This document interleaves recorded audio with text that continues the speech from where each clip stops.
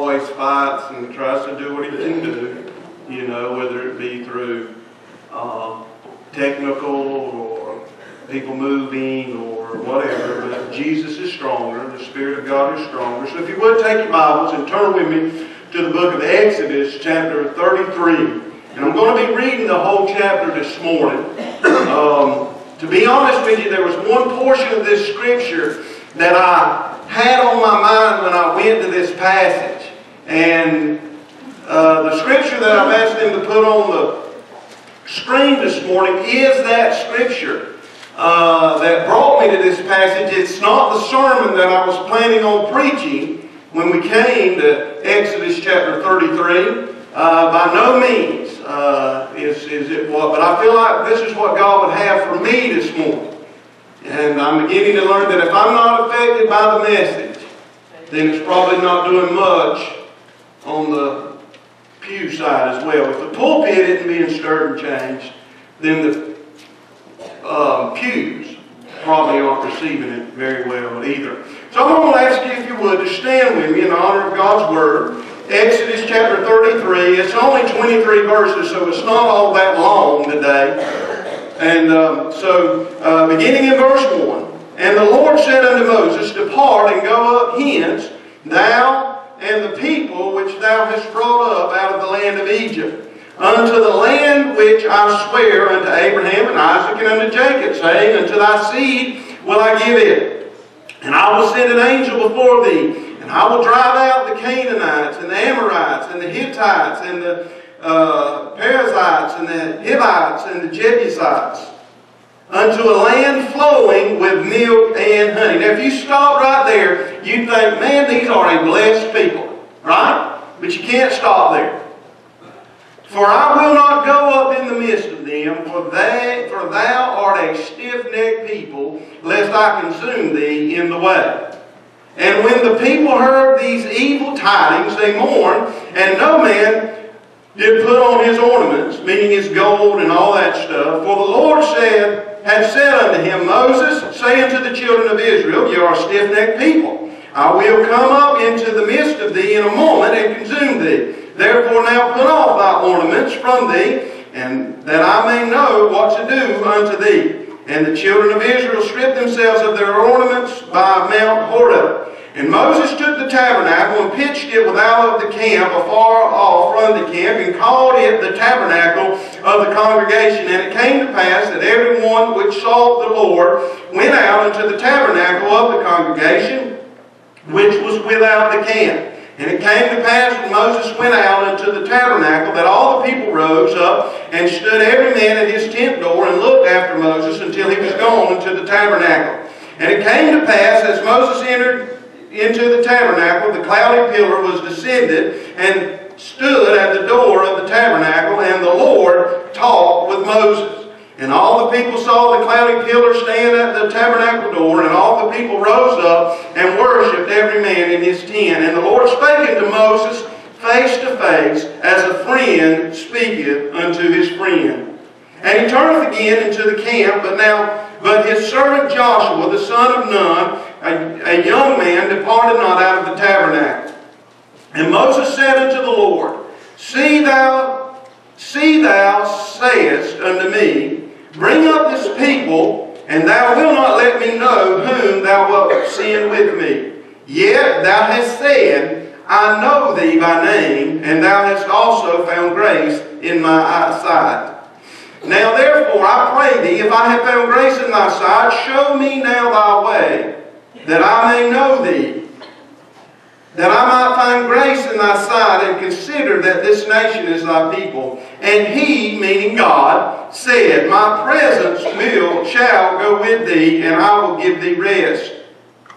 And he said unto him, meaning Moses is responding to God, If thy presence go not with me, carry us not up hence. For wherein shall it be known here that I and thy people have found grace in thy sight? Is it not in that thou goest with us?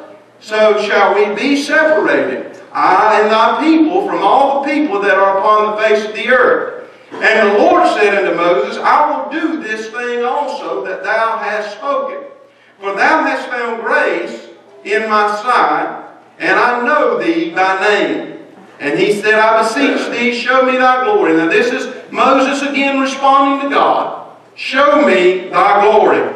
And God says, I will make all my goodness pass before thee, and I will proclaim the name of the Lord before thee, and will be gracious to whom I will be gracious, and I will show mercy on whom I will show mercy. And he said, meaning God, Thou canst not see my face, for there shall no man see me and live. And the Lord said, and this is an awesome verse in all the Bible, Behold, there is a place beside me, and thou shalt stand upon a rock. And it shall come to pass, while my glory passes by, that I will put thee in the cleft, or in a crevice, or in a crack of the rock, and I will cover thee with my hand while I pass by, and I will take away my hand, and thou shalt see my back parts, but my face shall not be seen. If I had a title for this morning's message, it would be God's Blessing or God's Presence. God's blessing or God's presence. You may be seated as we go to the Lord in a word of prayer. Dear Heavenly Father, Lord, in Jesus' name I come to you today and I thank you for your goodness, your grace, your mercy. Heavenly Father, Lord, I'm thankful for all that you've done in my life. Lord, you have blessed me. You have benefited me way beyond. My flesh has been gratified by many things that you have done in my life. And God, I'm thankful for that. But Lord, today we need your presence more than we need your blessing. And Heavenly Father, Lord, I invite you into this midst, into this place, and let your presence be felt. And let your presence motivate us. And in that, let us find the blessing. And it's in Jesus' name I pray. Amen and amen. What an awesome passage of Scripture. What I was going to do, this is when I came to the passage. That was neat, wasn't it? That was really loud. Um, when I came to this passage, what I was going to do was when you see the rock there in chapter 33 around verse 21 where he said, There's a place beside me and thou shalt stand upon a rock. I mean, you can really classify that as Christ. You can start with him being the chief cornerstone, build upon that. You can start with him being the uh, house that was built upon the rock, you know, a place of security, a place of privilege. It tells us that we're lifted up in the heavenly realms by that rock. And you could go many directions with that. But as I began to study this, I began to see it in a way that I've never seen it before. You know what's happening here, and if you don't, you're going to know what's happening because it's familiar up to this point. In Exodus 32, we know that, well, let's go all the way back to the book, first chapter, all the way from Joseph. The children of Abraham have grown in Egypt, and they became so big that after uh, a certain amount of time, they became slaves. And they were being done wrong and treated wrong, and so they cried out to God, and God heard them, and He picked Moses. The one who was hidden in the brush, you remember? He was enraged by Potiphar, raised by Pharaoh in Pharaoh's home. And God raised him up after he had sent him to wander on the backside of the desert for a while. He raised him up and brought him back in.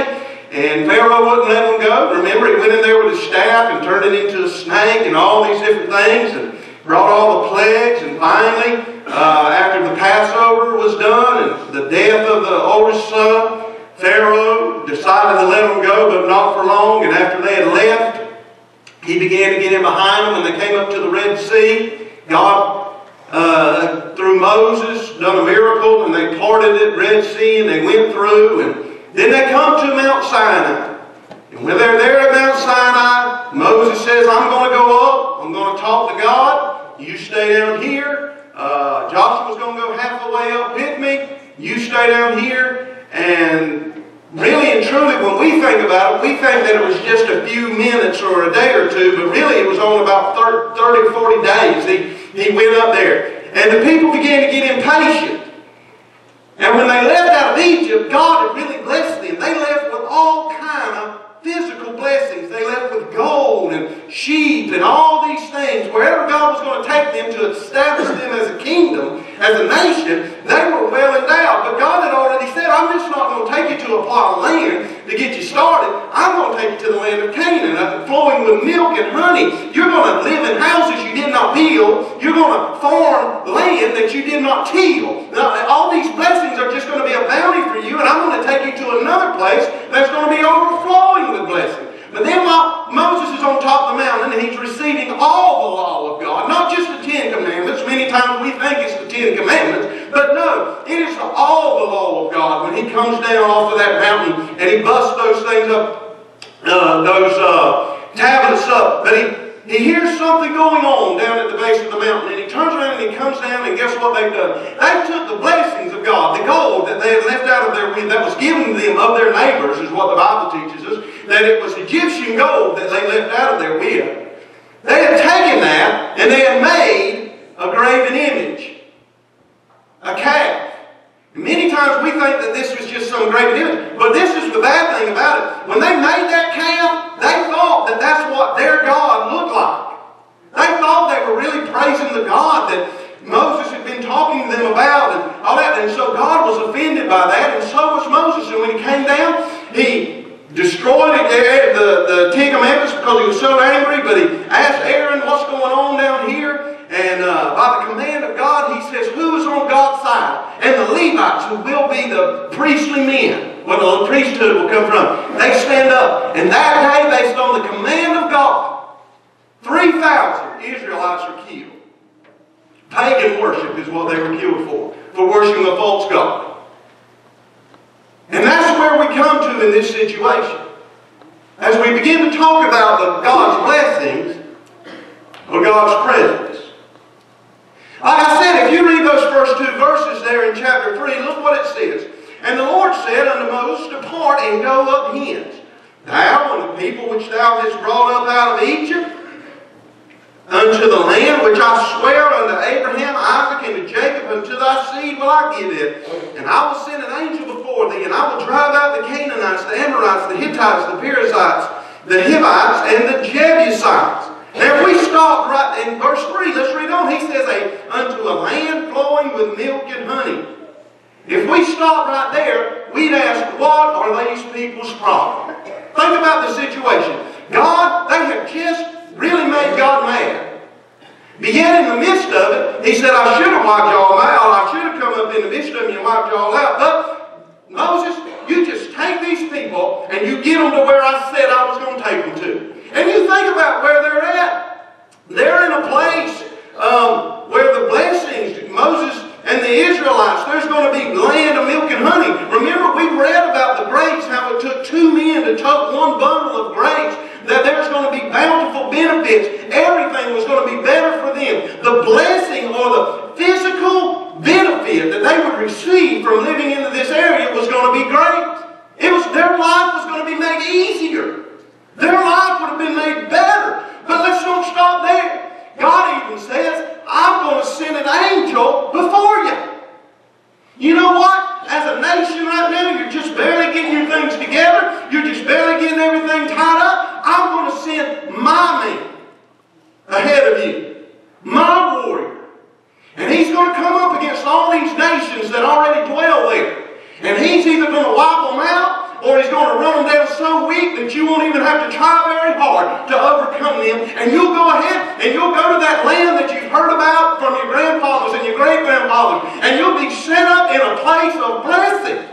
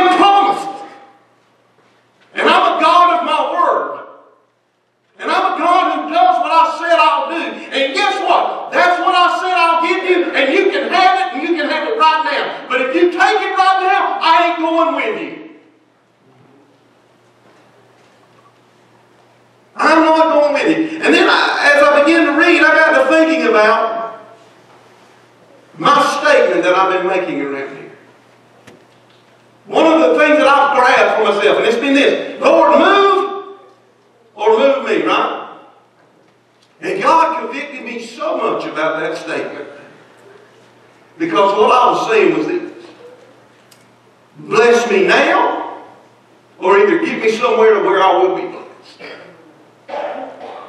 No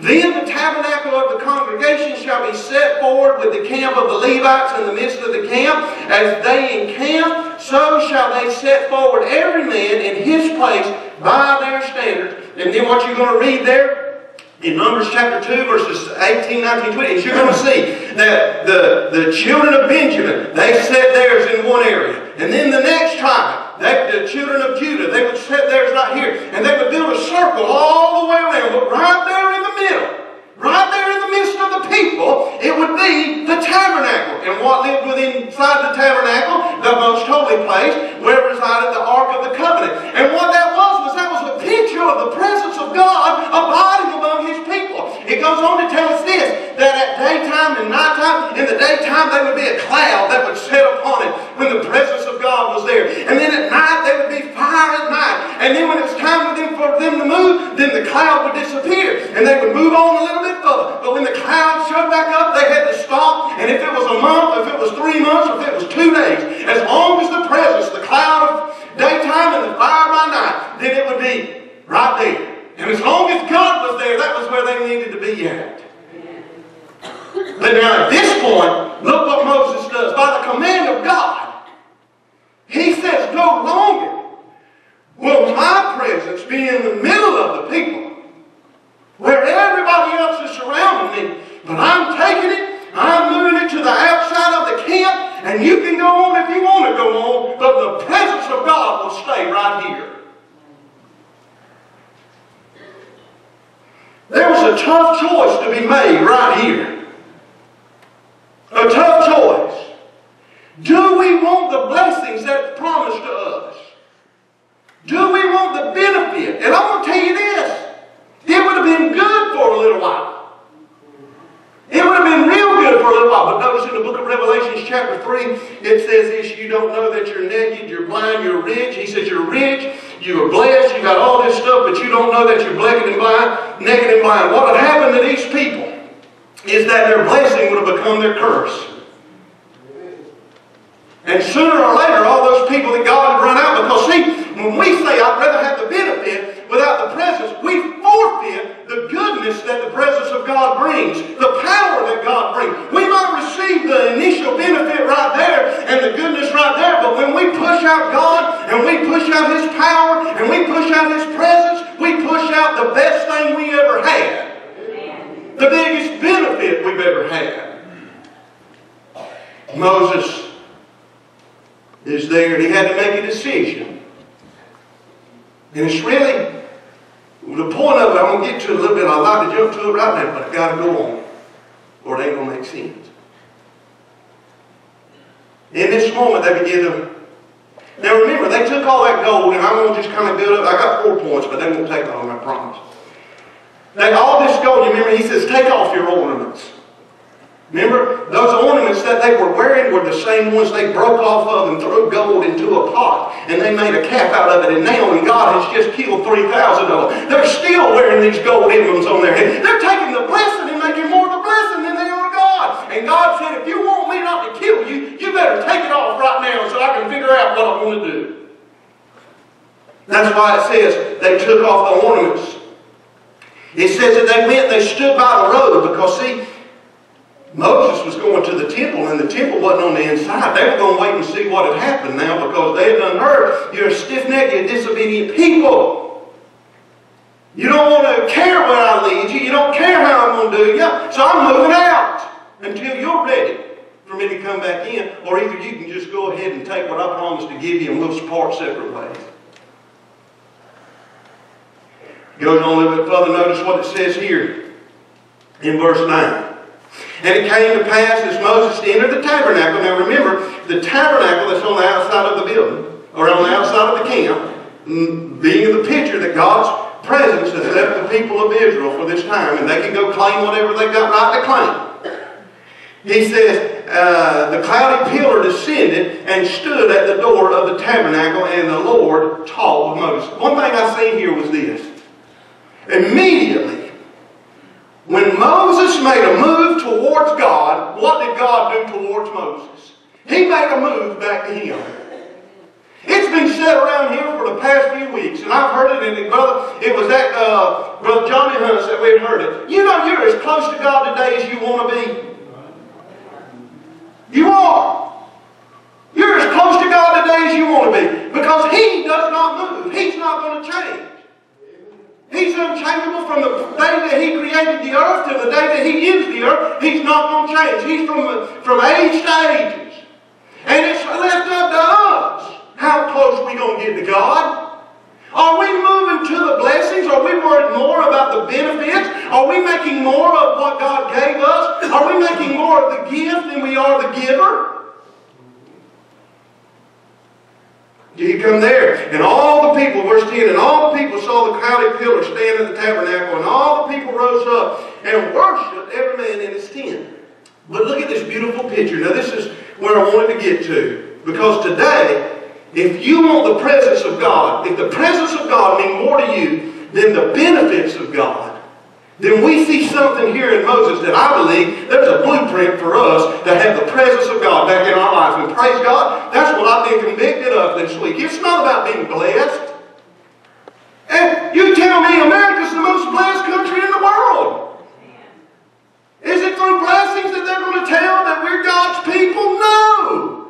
It's through the presence of God in our lives. That's how people know that we are the children of God. Through the power of the Holy Spirit working and moving on a daily basis. Amen. Look what he says. And the Lord spake unto Moses face to face, as a friend speaketh unto a friend.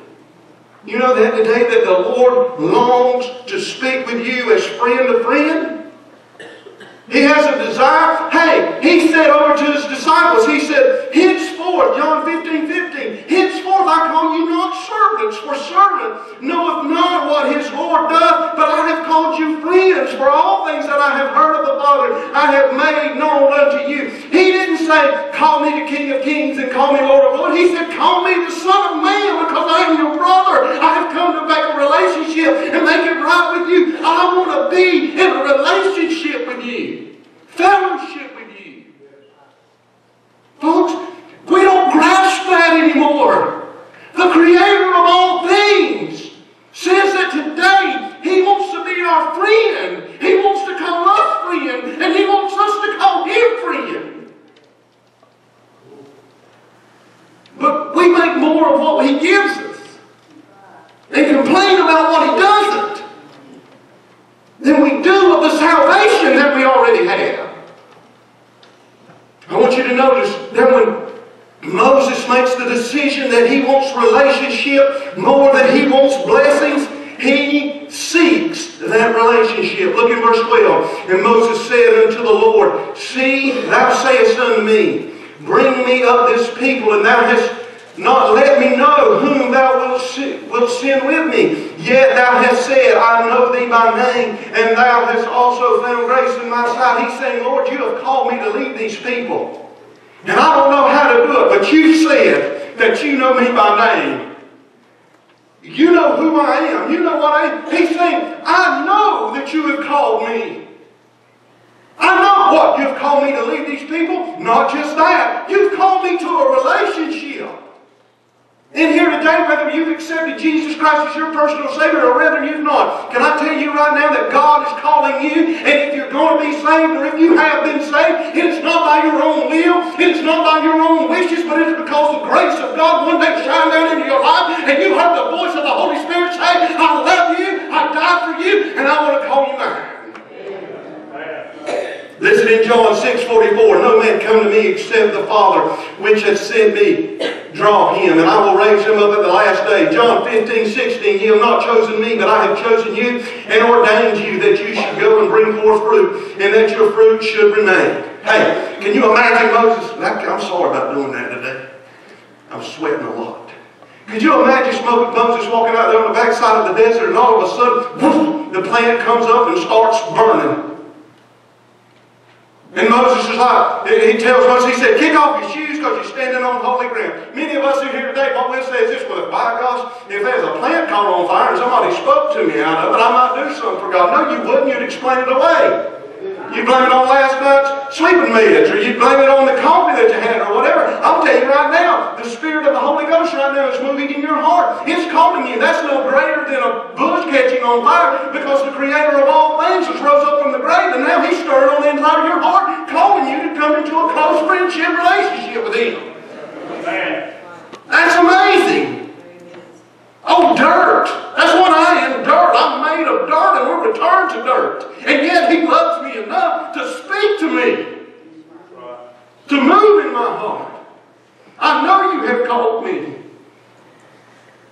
It's not about the blessing. Yeah, it is about the blessing. It's about the biggest blessing. It's not about making it to Canaan land.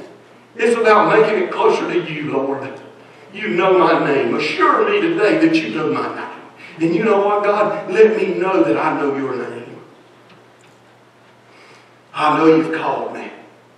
I know you've got a plan for me, but in this moment I'm not seeking that plan, but I'm seeking to know you. That's what he's saying there. I'm seeking to be closer to you in this moment. Moses sought a relationship, but not only did he seek a relationship, but he sought direction. Verse 13, Now therefore I pray thee, if I have found grace in thy sight, and show me thy way. Now notice, he's asking for direction, isn't he? Show me the way. Give me direction. I need to see which way to go. But notice what he says, that I may know thee. See what it boils down to? Not about blessing me with the way to go in my life. Don't tell me, it's not just about, Lord, you showing me the plans for my life, but it's about me knowing you. It's about me being touched by you. It's about me coming closer to you.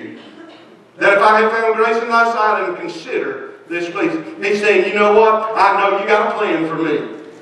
I know you got a plan for me. You know what? What a beautiful picture it is to think about Charlotte or Charlie. That's what I call her half the time. Charlie. Her mama just shook her head at me. But Charlotte.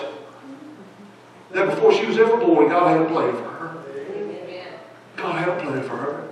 And one day's going to come when she's going to choose to go by that plan or not. And that's what the whole morning was about. That we can't make her choose the right way. Brother Tim and Sister Sierra, they can't make her choose the right way. But by golly, they're going to do everything they can. That there's going to be flashing signs pointing at that road saying, here it is, here it is, this is your way, this is the way, this is your Savior. But you know more than that, praise God, there's a path and a plan for every one of us in this place this morning. God loves you and I so much that He didn't spin and say, wherever it falls, let it fall. No, there's a way for you to go in every day of your life. There's a purpose, there's a direction. And God, and it's more about, it's not about you filling up space. It's not about you just getting by, but it's about doing something that will last for an eternity for the Lord Jesus Christ. Jeremiah 29 11. They don't get much better than that one. For I know the thoughts that I think towards you, saith the Lord, thoughts of peace you stirred up, you troubled this morning, worried about blessings. Is he going to bless me today? The things that I need, am I going to get it today? When he's already said, I've got your end already controlled. Are you forfeiting the peace of the presence of God for the temporary blessings that he's going to give anyway?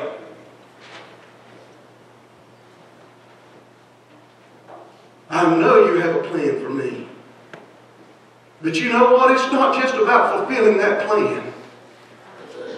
But it's about knowing you, being close to you as I go through with that plan. That's what he said. Think about it. We're going to see it in just a second. God's plan was to get them over into Canaan land, right? And he said, hey, if you want to get to Canaan land, you go to Canaan land. That's the end result. That's what everybody's fighting for, right? Moses says, I ain't going. I ain't going. Even if that's the end result, I ain't going because if you don't go with me, it ain't worth it. It ain't worth it. Many times, we want the temporal when we're bypassing the eternal and the most precious. I need you to lead me I need you to show me your way. Yet in this moment, I am seeking more than a direction. I am seeking to know you. I am seeking to know you. And you know what else Moses says? Moses is going to say, I know the difference. I know the difference between a blessing and I know the difference between your presence. Do we today? Do we know the difference between the presence of God versus the blessings of God? Look at verse 16. If thy presence go not with me, carry us not hence. For where we, wherein shall it be known here that I and thy people have found grace in thy sight? It is not in thou, thou goest, is it not in that thou goest with us? So we shall be separated, I and thy people, from all the people that are on the face of this earth. You know what the word presence means? A literal, literal interpretation. Listen to this. A personal existence of someone in a specific area having interaction and relationships with others occupying the same area. Means somebody's living in this square, but somebody else is also living in this square, and they can't help but bump into each other and affect the way that one another are going about things.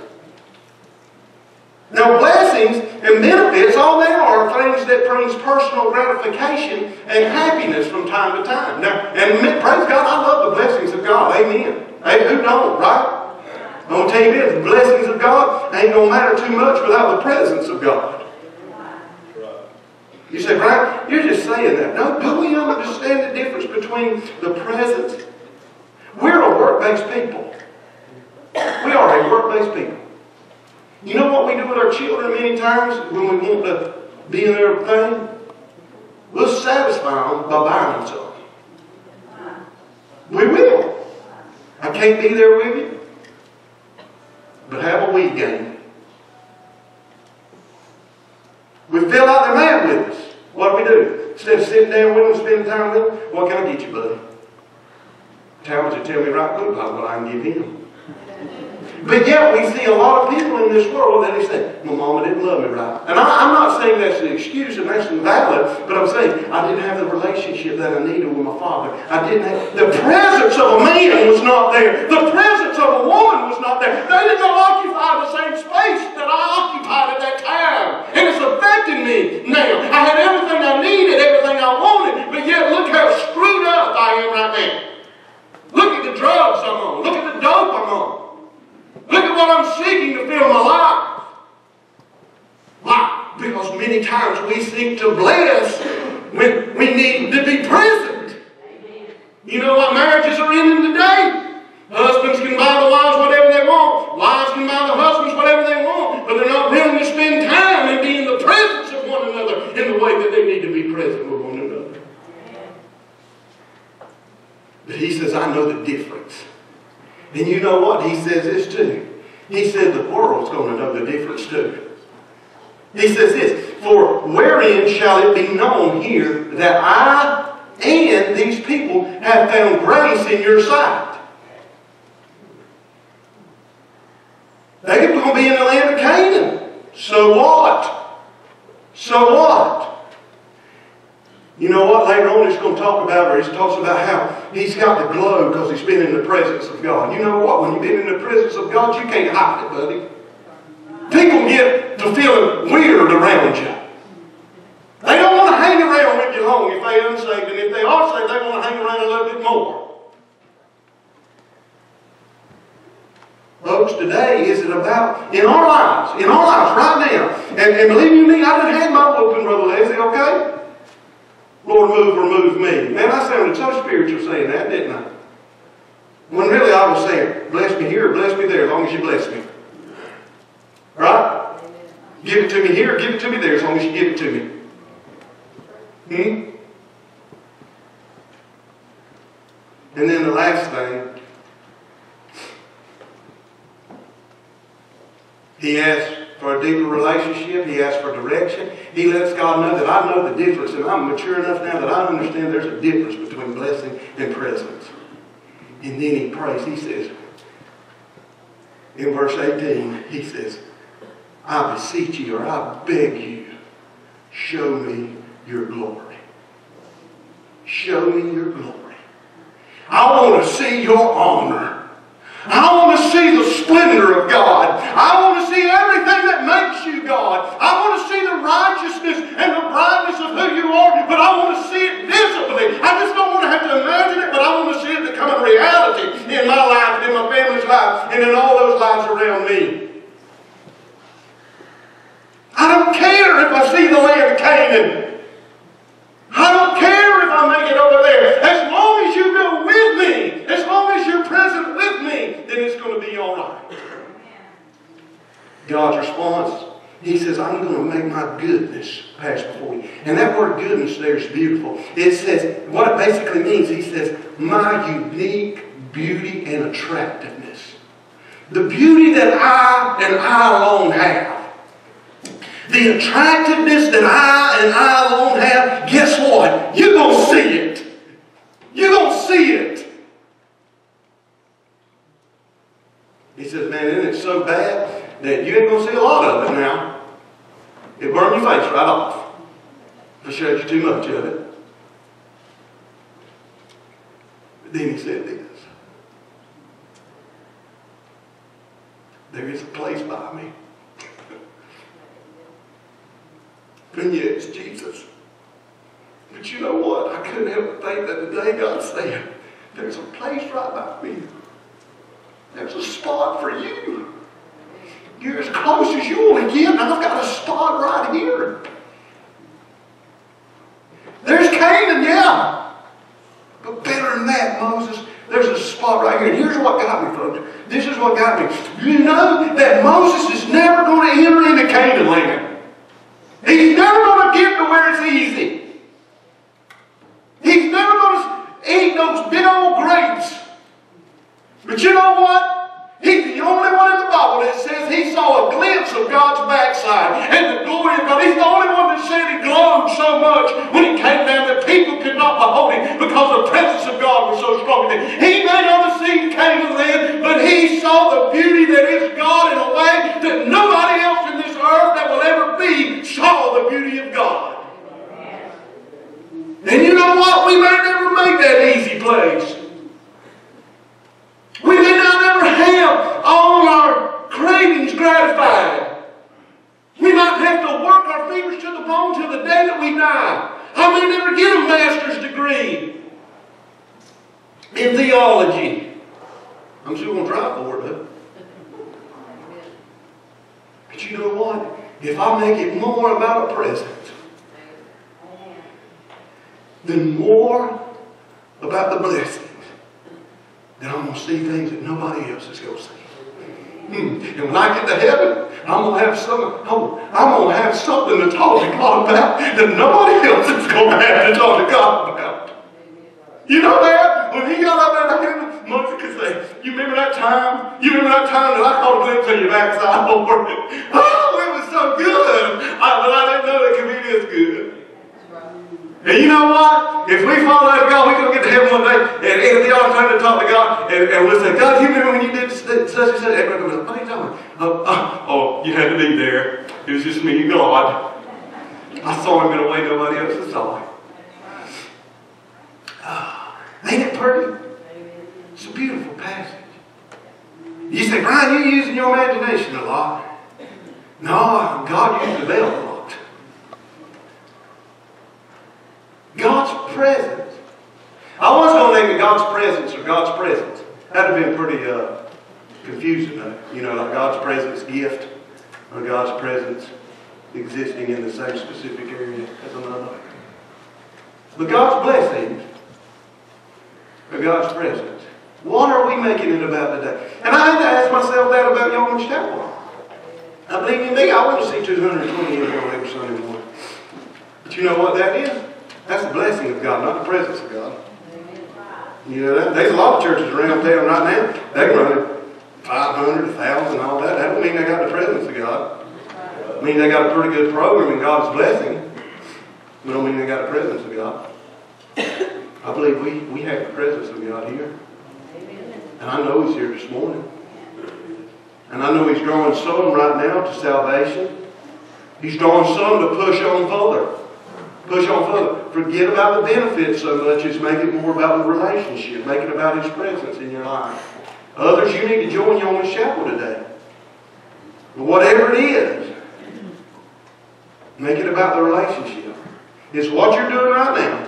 Whatever the decision you're making, God's calling you to do something. Are you, are you going to make it based on a better relationship with Him? Or is it going to be about gratifying some happiness or something in your life? Or somewhere else that you was hurt or something like that? What's it about? As our song director comes, let's stand in the word of prayer.